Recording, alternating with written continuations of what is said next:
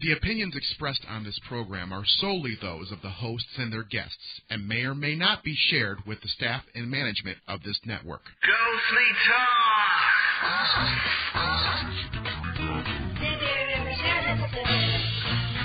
The entire complement of Ghostly Talk hosts are broadcasting from the world famous Haunted Winery here in Warren, Michigan. This is Ghostly Talk on June 14th, 2009. Ghostly Talk is independently. You keep going. Ghostly Talk is independently produced every Sunday night from 6 to 9 p.m. Eastern Time to converse about all things paranormal. For more info, go to www.ghostlytalk.com. I wonder how this show is going to go. Tonight, Dr. Sally Rhine Feather is back to give us some updates on what is going on at the Rhine Research Center. And then later, we have a long overdue roundtable discussion with our friends from the Ghost Divas and Parahub Radio.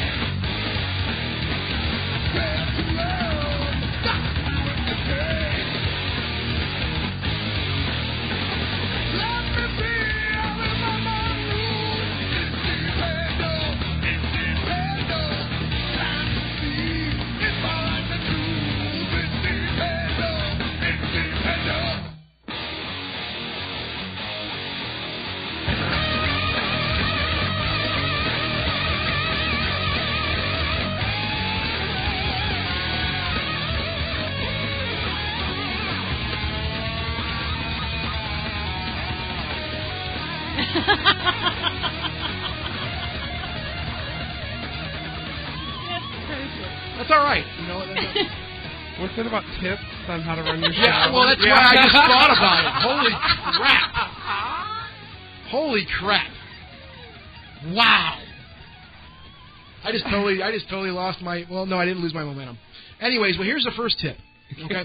Uh, Always start your recorder. Always start your Yeah. encoder, yeah, because well, I mean that's going to be really fun to screw with tonight. But you know that, that aside, let me make sure it's running now. Oh God. Doug, talk while he checks. Well, I I do Oh, find my God, I'm interesting, pissed right now. That, that's what happens in live radio. Yeah. So well, no, the I'm- live stream's going out, Good, good. so we're cool with that. We're just going to have a shorter show now for people to download. For the download, yes. Anyways, Well, those of you joining on podcast, I'm here. mid yeah, mid uh, midstream. Feel free to party now. yeah, it's actually 6:20 p.m. Eastern Daylight Time, um, and we yeah, if missed you're- the first twenty That's my- minutes of the caption. It's all on me. Sorry about that. See, this is the reason you need to listen to the show live. Yes, exactly. This is the reason you need to listen to the show live because you, you get everything, you know. Yeah. And so, And we're not going to tell you what happened in that first 20 minutes. no, I'm not gonna say it was all good. Oh no, we have to. We have to say one thing. We'll see you next weekend at the Yes. Lucky 13 conference in Decatur, or Yep, Haunted Decatur, America- Ohio. Haunted America- Decatur, Decatur. Illinois. I don't know Lucky where my 13 mind Haunted was. America. We'll be there with Lugard. Yeah, yes, we will. Lugard and us. Well, what I was saying though is, if if you do have a show you're trying to start up, or if you're you're doing a show, uh, and you're you know you want to get some tips, feel free. Send me an email. Send Doug. Send me an email. Yeah, And- don't send Doug an email. and uh, and I'll be happy to help you out anyway. I have I actually have made like you know schematics and stuff of our whole setup and all this Yeah. crap. So instead of like bantering back and forth on email, I can actually go here, take a look at this thing and make Mm-hmm. it make it work for you. And I've done that for a few people already. I said, here, here's here's our schematic. Here's, here's how we we've set the system up. Um, go ahead and use it. Go ahead and do what you want to do with that. Bonnie, did you go see that movie Marley and Me? No.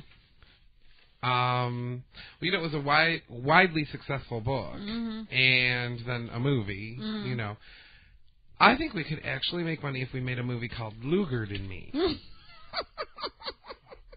I have no idea what you're talking about right now. We don't have I to, think we and we don't make even have to kill off Lugard. If we filmed The Adventures of Blonde Bonnie and Blonde Doug. Do you know what the costume budget would have to be for that? Astronomical. yes, exactly. Uh, Oh. Don't ask, Scott. Lugard is I- Lugard is by far I I think and and we can take a vote I'm sure but yeah. I think it is the one among the worst women's Female name. fe- yeah, females That's a female's name. name. Yeah. Lugard? female's first we name found it on a headstone in a cemetery in Decatur. yes Really? you know that cemetery that when when you're going from the hotel and conference center where you stay at the hotel to the uh haunted Lincoln Theater Yeah, yeah, yeah. as you're driving along on your right hand side there's yeah. this little I've seen that several Yeah. times. And we popped in there. Was it last time? Yeah, the yeah, last time we were Halloween. there. The the Halloween one. We popped in there, and sure enough, and we're we're like, we were driving out, or were we about to go to the car to go out? Um, we had went separate ways because you were on the phone with Andy. I was on the phone with Tanya. Uh, it was really all weird. But Yeah. You walked your way through the cemetery. I walked my way through the cemetery, and then on the way out, you said, "I have to show you this." yes. It is the absolute worst name for a woman I have ever seen in my life. And you pulled up to the headstone and you said, "Read that name." And I looked at it and I went, "Ooh, that's really bad." and it is. It, it's it's not a very flattering name because Not at all. when I picture a Lugard, I do not picture, you know, like a someone attractive. yeah, not at all. I I don't hear like a twenty I strap or picture a pit bull. I, I do too. That's what I picture. I do too. Would you name your poodle Lugard Um, no, I'd name it Doug or Fluffy or or Hmm, Doug. Wait a minute. Um, but would you name your pit bull or or what's it? No, I named my pit bull Bonnie. okay, I'm in the wrong species. I was going over the canines, and I think I should have went with kitty cat. Ooh. They're all named Lugard. I know, I know. I hear Lugard, Lugard, Lugard. Um, Uh, never mind. We lost control. hello, Lugard. That's our new like little female dolls or whatever that people can play with that look like kitties. Hello, kitty. Hello, Lugard. Hello. Uh, what else? Wh- Where else can we put a Lugard? I don't know. We'll figure something out. I'm gonna go to Lugard's and pick up a pizza. That would be. I would not want to eat. I wouldn't want to eat a pizza from Lugard's either. I wouldn't want anything but it. Anybody? I need a frozen Lugard. Ew. Doug, So- think of what you're saying. That, that that would be a decent pizza chain. That sounds like a, I don't know. I don't know. I pizza- just think it would be rank. pizza. Lugard's Pizza. Well, I mean, it's obviously uh, the name Lugard kind of goes along with, I guess, the term loogie. Yeah. Which, you know, which that may be short. Like, Ah. you know, if it's a female, right? No, I wait, like- wait, wait. If it was a female, um, and, you know, her name was Lugard. She was, you know, Christian name Lugard, right? And they had to go short for that, um, Loogie. yeah. Wouldn't that just suck? Or her Lug. Well, how old was Or her? Lou. When did she Lou. pass away? Th- That we didn't We, know. uh, we were we were we were a You little were blind bit, with I laughter. was Yes, just yeah, so pretty much. focused on Way, the way to name. respect the dead there, by the way. Little guys. Miss Muffet sat on a tuffet, eating her Lugards and whey. I don't know. I just Doug can't. A has breakfast lost- cereal. I'm A bre- sorry that I brought it up to everyone that has been forced to listen to this conversation. Yes, instead of a prize, What's gonna you be get like great a is that- used band aid or What's something. gonna be great is in the It's archive. what's my the archives. I can see it right now. I'm envisioning this right now when I when I when I cut it up. People are gonna be like, "What in the heck?" Well, they're, they're going to hear the intro stuff. Well, we'll And then totally it's gonna boo go- that whole thing, right? And then we're going, to and then they're they're, they're going to hear us talking about Lugard for like five or ten minutes, and then we're going to go to break, and mm-hmm. it's just going to suck. That's the that hey. well, no. The Do you know first what? half hour is ours. If we want to talk That's Lugard for a half hour, that's And And and Uh-huh. really, these people are only going to hear it for the ten minutes, the the non-live listeners, because we were twenty minutes in. I have to say though, this this actually has complete and direct bearing to what we do. The name Lugard. It one of the things that we do as as show hosts is we go around to conferences and conventions, right, and festivals, and w- this was a find at last year's the twelfth annual Haunted America conference, right? No, it was at the Halloween Spookapalooza. Oh, Spookapalooza. Okay, Okay. so even more recent then. But still, this was, you know, part of a road trip to a, a conference. Yeah. And this is the kind of thing, and if people don't get it, if they're like, oh, I don't want to go, it's like a three hour drive or a five hour drive or whatever, and then, then I'm staying in a hotel, and then this and that. And and I don't know any of these You people who are going gonna be to there. to it's like them? we're the same the same way, except for when we go, we make sure that we have some kind of fun. And we ran across Lugard. We always have fun. I I know But you know what we're going to have to do to convince them? what. We're going to have to record, perhaps video, our car trip to a Not a conference. good idea. And Not then a- us the entire conference. Oh. And then people could see what they're missing. We got to get hold of Tom Smith. He's got to just follow us around like he did that one season, ghost hunting season, because Yeah. I I don't want to record it myself because it would look like a cheesy home video. Okay. hmm We could we could try that. We've done it before. Amber has that HD camera, and she taped the whole conversation when we were heading down to I think it may have been Kentucky a couple of years ago, Yeah. and she still has it. It's hysterical. Uh, good Jonathan, nice Yeah, Jonathan. yeah. It was myself, Tom. She doesn't have on tape. Does she have the "I love you, bear"? no, no, well, yeah, no, we never got that on tape. That was we Oh. got we got a tape. fight. We, you know, Oh, I, I hope Jonathan tape. doesn't hear this because it, was- it was well, it wasn't anything secret. I but- love you, But his wife, his wife called him like one- you know, it was myself and Tom and uh, and good Jonathan and Amber, and um, basically his wife called him and she started yelling at him and and you know she, he's like, okay, look, I'm sorry, all right, oh, it's cool. And we're Amber's got a camera right in his face. He's like, yeah, okay, all right, I'll take care of it when I get home. Okay, no problem. So he gets on the phone. We're like, geez, what the heck happened? You know, if we we need to turn around and take you back. He's like. No, man, I ate one of the fall cakes. I ate the last fall cake, and my wife's mad about it. And I'm like, wow. and I'm like, okay. I go, tell her I'll buy her a box. You know, she was. I'm, Erin's a great girl. Don't get me wrong, but uh, yeah, we got this whole thing, this whole conversation. Then afterwards, like 15 minutes, like where the the, the word fall cakes comes up like like every sentence. it's like fall cake. What do you mean? She's yelling about fall cake. Oh my god, dude! But yeah, we do have a lot of video. I have to ask Amber for That that. be it's, not ridiculous. nearly as entertaining as um, Doug and I playing Ick or Not Ick, which no one really wants to see. If No. you're I involved, played it with. I played if it before. you're involved Ickernotic in the is- game, Yeah. if your name comes up in the game, you don't want to see it because Yeah. we're very brutal and honest. Oh, absolutely. It's and terrible. um, Well, Daniel Day Lewis, ick or not ick? I, I got to hear this. Daniel I Day don't know Lewis. who I he can't is. even picture him. Daniel Day Lewis. No. Okay, how about Johnny Depp? Oh, not it. Because Johnny, De- Johnny Johnny Depp is my second man crush next to Daniel Day Lewis right now. Because I, just saw the So he's again not for, a uh, or they're both Absolutely not. not. okay. I just saw the previews for uh, for Public Oh. Enemies, and I'm like, Oh, oh, right. I Yeah. can't wait. John Dillinger. You've got Oh, to go God. see that. Six thirty here. Sorry guys, if, if you're listening All to the archive, deal with it. We're, we're gonna go. We're It was my get, mistake. I did it. I, I Dr. Sally Rhine Feather coming Yeah, up. Speaking about being entertained. Oh, my God. wow. Can't wait to talk to her, guys. This is Ghostly Talk. I'm Scott and I'm Doug. and I'm Bonnie. We'll be right back with Dr. Sally Rhine Feather after this. Ghostly Talk.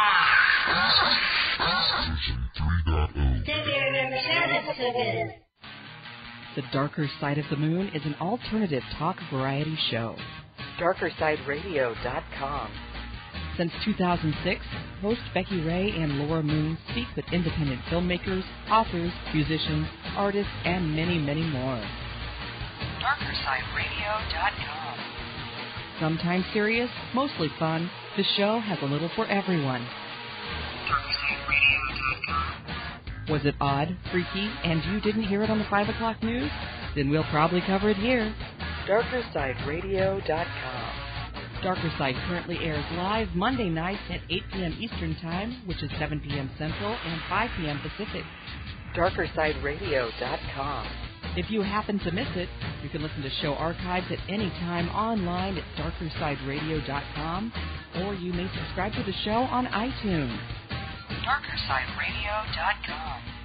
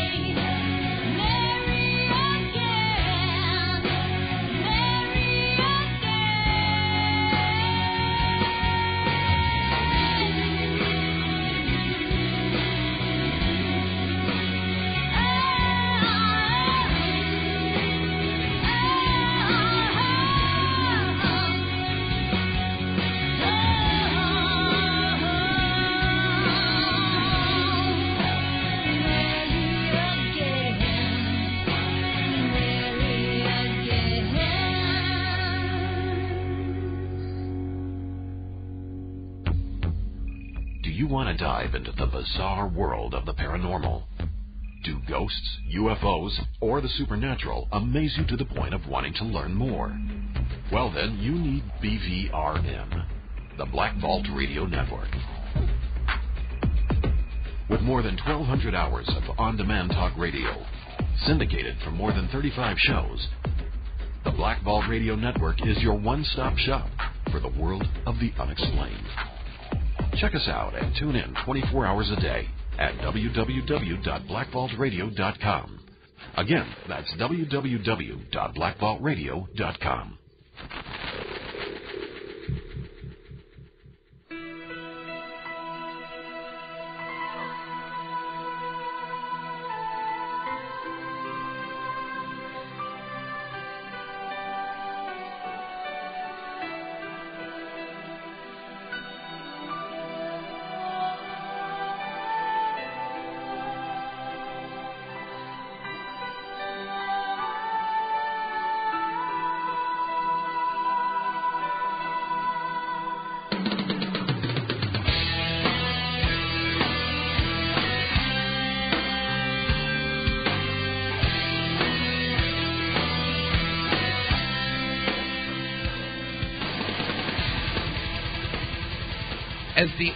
daughter of J.B. and Louisa Rhine, Sally Feather grew up in a, the world of parapsychology in Durham, North Carolina.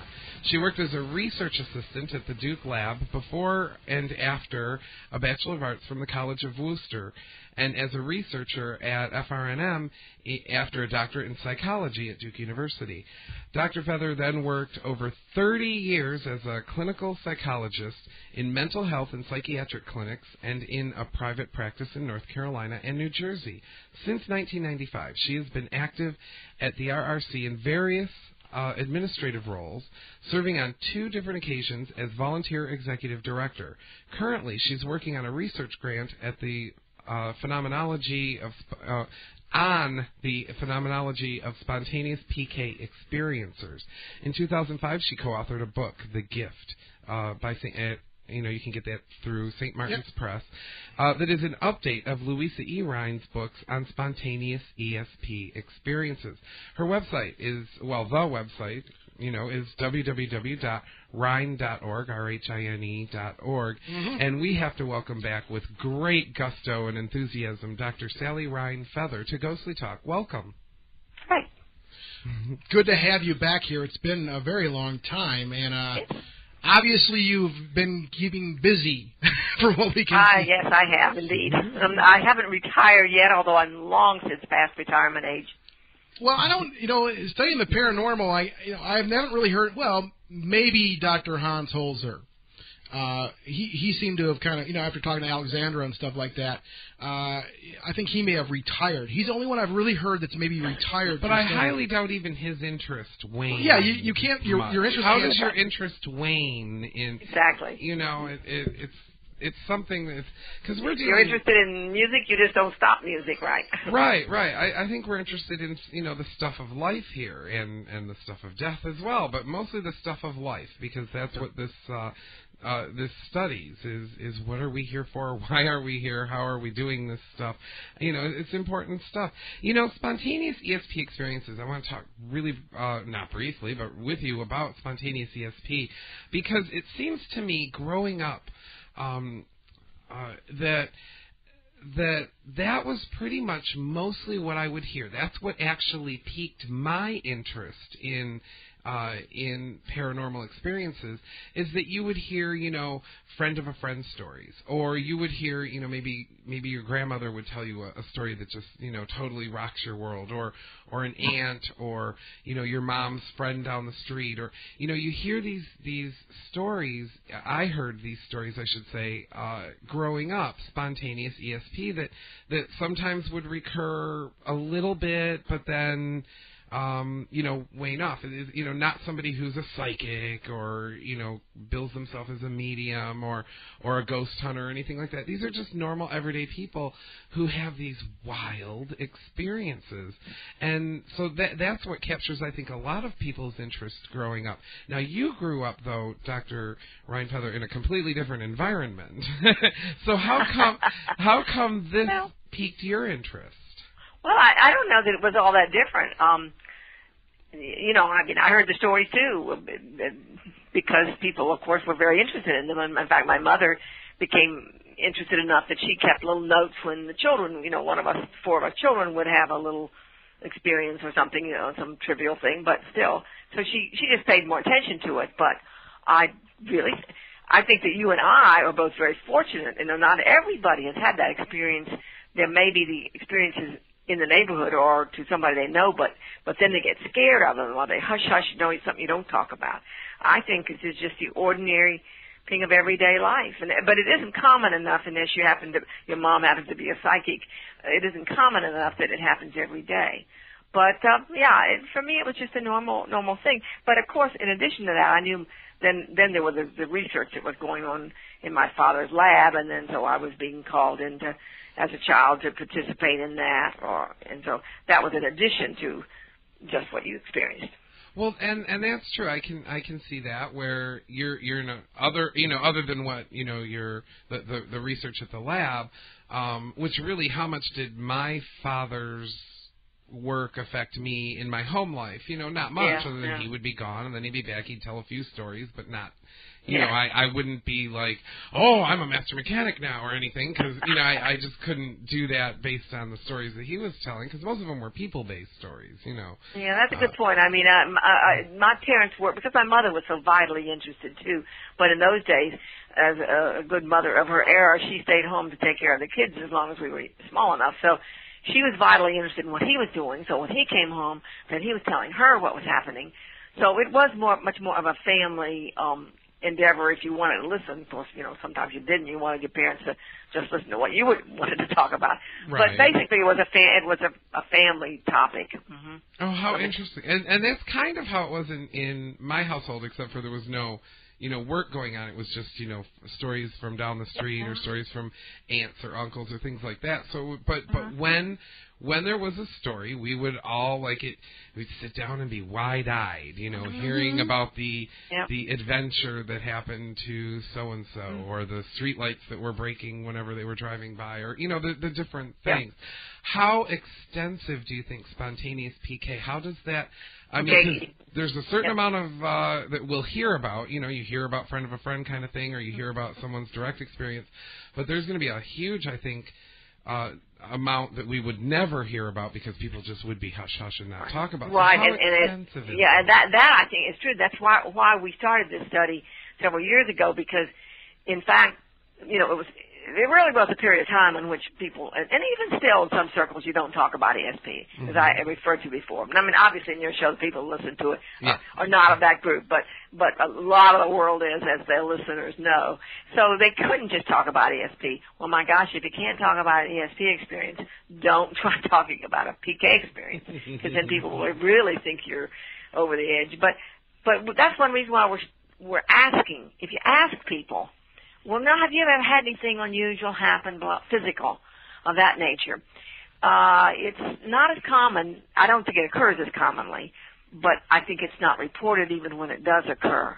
I think people are a little more because it does open itself up to a little more. Well, could it really have happened or not? Unless there were two of you that happened to be there and see it. Now, like the, when the street light goes out and you walk by, that's such an odd or, or even a frequent thing, though, in a way that you might talk about it. But other things you might keep to yourself.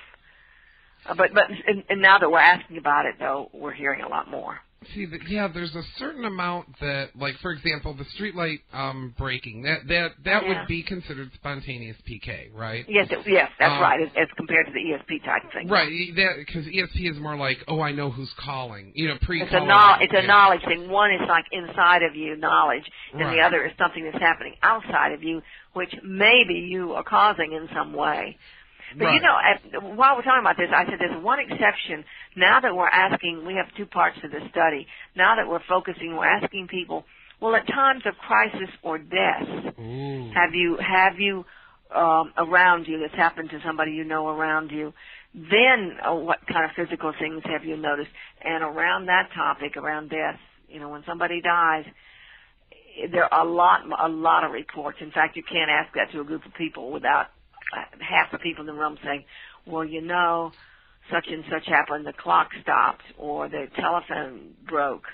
Or something electronic broke the day that mother died or grandpa died whether we notice them more because it's a crisis or whether in fact something else is going on we don't know. We're just trying to get the information, the Mhm. data, I mean, the basic data. And that's interesting because that is the classic uh, Mm. death scenario. I, I mean, is the the clock stopping? Right. You know, the clock Yeah. stops at Clock the exact moment. You know, and Yeah. and and it's very dramatic actually. It's a very Right. dramatic and and meaningful kind of of thing, and and I can see that happening in Yeah. you know because the universe I think is not only chaotic, but I also think it has some meaning. Yeah. And and that's a very deep, meaningful thing. You know, the the concept of time and clock stopping and death. You know, it, it's just very very. well, and well, look, meaningful. let's just face it. We're on, and of course, your show, Ghostly Radio Show, is pertaining to that is there's an afterlife, and there Yeah. may be something surviving that we call ghosts. And, Mhm. and if that's true, then uh, then the physical side of things becomes it really moves our our study a little bit more in that direction. It's an overlap between the plain old laboratory everyday thing happening to somebody and something which may be representing of the afterlife, the discarnate world. And we we're well aware of that, and that's one reason why it's both bringing more response from people and and it's more meaningful. It's more interesting in a way. Oh, absolutely. Yeah. When when uh, it, th- there's also a thing in in ghost um, research called crisis apparitions. Oh, okay, that would that would be like when somebody is passing away. I see those every day. yeah, and every, every day. and then Oh, there's well. those kind of crisis apparitions. Those are- I'm sorry, those are drama apparitions. station. Those are drama apparitions. But but do you think maybe Ghost of a retarded person. I get those at the store.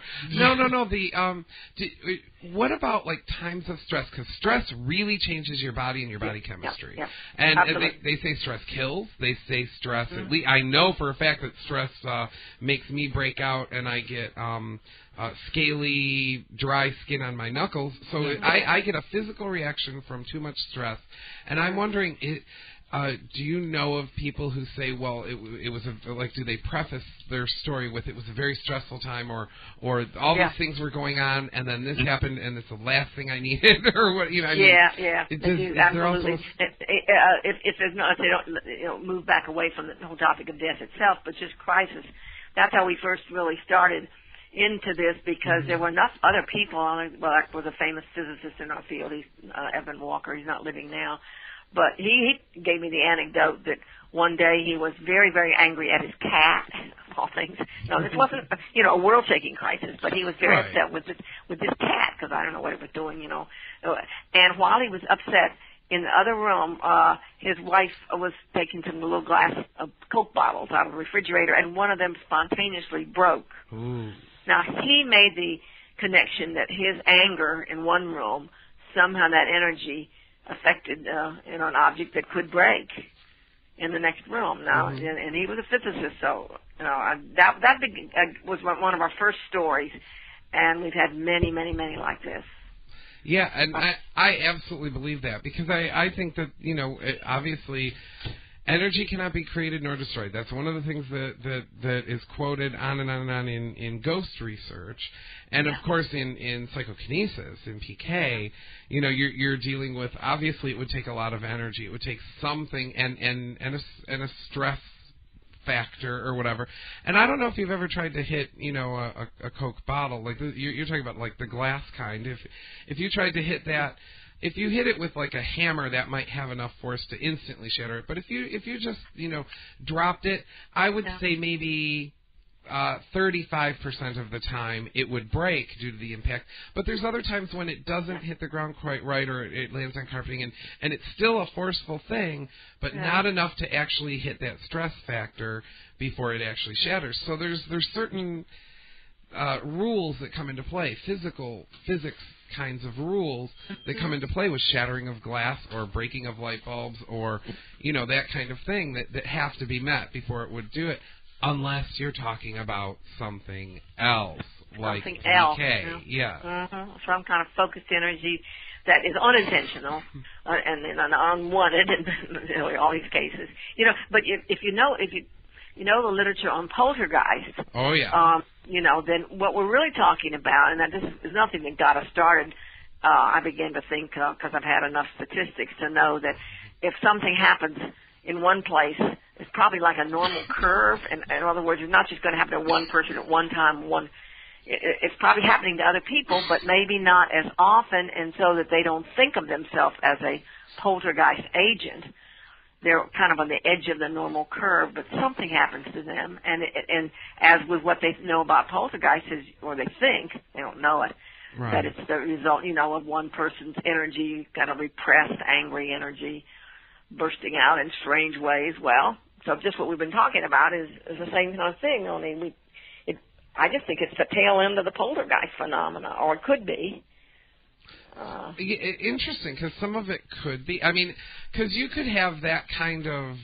po- I mean, I, I know that parapsychologists think that there's a lot of stuff that that we can do that we haven't even touched on. You know, a, a lot of you know, there's PK, ESP, all that stuff Yeah. that we humans were wired to be able to do.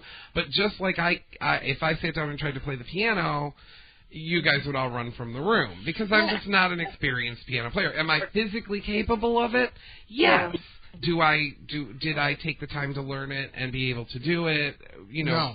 beautifully no I didn't yeah, right, right. And that's why you have everything's called a discipline. Because you know a lot of eh, like the piano, for example, that isn't something you just pick up overnight. Right, right. It's something you have to spend a lot of times years but I could, working on. But I could plunk out chopsticks if I had to. Well, yeah, I mean, yeah. or, or something, or happy birthday after a little twink, you know, twinkling of the ivories. But I, I just couldn't, um, you know, sit down and play a, you know, like a Yeah. virtuoso. So Right, but what is the limits of our consciousness? What- We're really Right. talking about con- human consciousness. yes, That's a better word if- that we- we're studying this than the old-fashioned word parapsychology, which we don't really like. But uh, we're really talking about extending and studying human consciousness in ways that traditional science isn't yet paying attention to uh, as they should. Exactly. We, we think this is all part of the normal world, even though it's weird and we don't understand it. But that doesn't make it abnormal or supernormal.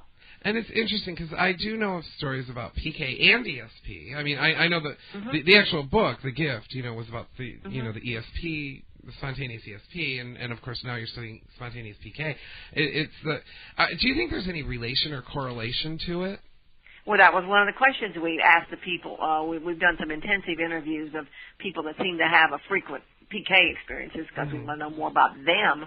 Who are they? Are they different from the other group? That's a, you know, and we're finding there's not much difference. They almost every. I only had one person who didn't have a lot of ESP experiences as well. So we're probably talking about people with similar characteristics. Um, in, at just different times in their life. Like one woman said, "Well, I used to have a lot of, you know, PK experiences back when I was younger, but now I've got my emotions under a little better control or whatever, and it doesn't take that form anymore." but Yeah. she has ESP experiences still. Yeah. Yeah. Well, How- I, if, I want to jam on this for just one second though, because you got you got me my I know brain. that's the thing is I I'm Well, you got my brain going on this thing, and just, just get, I, I know I just kind of ran in and ran out and just took over again, like I always That's do. I fine, apologize, that's fine. but no, I gotta add, I it's just a, a thought, a trip for a second because we were talking about you know the piano, for example, Yes. a few minutes ago, uh, and everybody has a discipline. You know, it could be computers, it could be you know construction. I mean, you know, that's as far as making a living's concerned. But some people have hobbies, like they play the piano. Uh, you know, they may play an instrument. They may collect stamps. You know, they have all this information about stamps in their head or coins. They have all this information about coins in their head. I don't have that much information about coins in my head because I don't collect coins. right, right. My point is, is we have the potential, and well, let's just go directly over to you know PK for example. We've been told, and I for the last seven and a half years, I've been told by a lot of people on this show that okay, you have the power. You have the power to do this thing, right?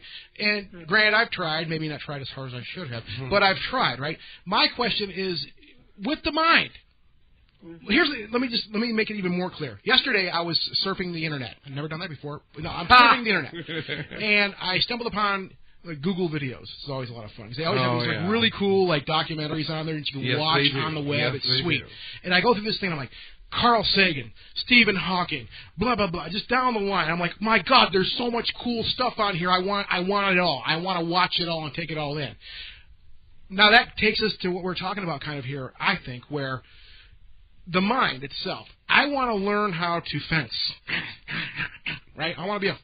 That's what fencing sounds Yes, like. that- That's what fencing sounds like. I guess. That'll be interesting I to watch on a the couple of Olympics. cats fighting. It sounds like. Yeah. Anyway, so I want to learn how to fence. Isn't it? Wouldn't there be? This is just what I'm tripping on. Is like if we have the power to learn things like that, mm-hmm. but we can't do it. We have to, like, for example, I mean, I'm doing, I do that training I was bragging about last week, all my training. Yeah. Two and a half months I spent on this thing, right? Training for that test. Yeah. Why couldn't I just find we gotta find a machine or something? We gotta figure it out so we can just walk into a room and go, okay, here's my twenty bucks. Slide in the thing. Download the knowledge. Download the knowledge to my Yeah. brain so I can and I can Your just brain, yeah. you know Like now computer. Well, actually, um, Dr. Rhine Feather, that that is an interesting thing because you follow what I'm there saying. are other things, and and this is quasi related to. It's not so much related to PK as much as ESP, in that that one of the theories is that we're all plugged into a cosmic consciousness of some kind, and and and that everybody is related to everything. Like my atoms are no different than your atoms, and and there's quarks and little energy units in them that can instantly communicate in some you know unseen language. Why wouldn't we be able to? I- if we wanted to, Yeah. or, or or did a ritual, or did a you know whatever it took to uh, instantly master our PK or ESP experiences. Well, you know, you still have to give credit to the brain. I mean, I I don't believe everything is reduced to the brain by any means. That's you know the, the difference between us and conventional science. Maybe we think that there's much much more, but still, the brain was very important in learning how to play the piano, and a lot of work went into that. Yeah. And I doubt that they'll maybe someday they'll get smart enough they can bypass go to the basics. And then I also think there's that there's proclivities or or, or sense your tendency, uh, like we think people who are psychic, we think more and more that there are people that are, are really different from, in many ways, and neurologically, uh, uh, from other people in that they're more open. They're, they're, they're the pathways are more susceptible, Yeah. more sensitive, like musicians. Mhm. But many musicians are just quite different brains. Many artists are than I am. I'm kind of left brain, and I I don't think all the training in the world, and I'm going to become a really good psychic. Could probably become a better one. Mhm. Right. So, so I, I think you have to start with something, and you have to give credit to some basic things. We can't get completely away from the material, physical, physiological world. And, and then you can go on and maybe hope that you can develop some things. Well, yeah, and there's there are those constraints, and I mean, just going further with that, just just in a you know to go, if let's just say, for example, there was we did have that ability, and we mastered that, where we could, okay, I want to learn how to drive a sailboat today, right? I go to the I go to the thing and download the Download sailboat the program. sailboat program, How yeah. sucky would that be for all of us, though? Because there would no there would be no There'd such be thing no as dis- challenge. There'd be no challenge. There'd be no Yeah. reward. There'd be no discipline. Yeah. So I mean, that would suck. while it would be But I'm- cool, it would kind of suck at the same time. I'm unsure if it's related more to that kind of thing as much as like, do, do you know there's? Oh, and I know we've got to go to break in That's like all right. point oh two minutes, right? but um, but the, the that's the thing, Dr. Sally Rhine Feather. We get on the on the phone with you, and I I just get so interested in everything. Stimulated. One- Just call me Sally. That'll shorten your time. Oh, thank you so much. we go, but we go to we. It, it may not be related to that kind of thing so much, uh, you know, the the instant knowledge kind of thing, Yeah. as related to more like um, you hear stories about every so often maybe a, a, a child is running out into the street or something and and a car is is is rolling and going to crush it so the mother or so, or some concerned citizen gets an adrenaline rush of some kind and is is able Yeah, to lift yeah. the car so that it Yep. does not crush the child you know i mean it, it's within that as a human being she has she or he has limits, obviously, but those limits seem to be overcome in, in Times of crisis. in a time of Yep, crisis or in, in the time of need. And perhaps that's more like what's going on with spontaneous PK. And Mhm. I, Yeah, I don't I I don't think- know, but it's a theory. It's like a little spurt here now and then of something breaking through or coming through. hmm Right, Yeah, yeah. and that's that's very very spontaneous. Whereas learning a piano, if you learn it, then you would know it, you know, forever. You would get you know rusty, but you would always know the the So it's, it's much more like learning the piano, but then to be creative and create your own music, you might have to stop and go into an altered state. Yes. And then the music, the new creative piece comes to your mind or something. That that would be True. true because how you know if if you're good at writing music, you may not even know how to play the piano, or vice versa. I mean, who knows? Yeah. But we do have to go to break, and Yeah, let's you guys that. on our breaks, of course, we play um, uh, independent music, and I want people to listen to some independent music and get all indie on our breaks. And uh, we'll be back with more from uh, Dr. Sally Rhine Feather at www.rhine.org after this wonderful indie music. For more info, visit ghostlytalk.com.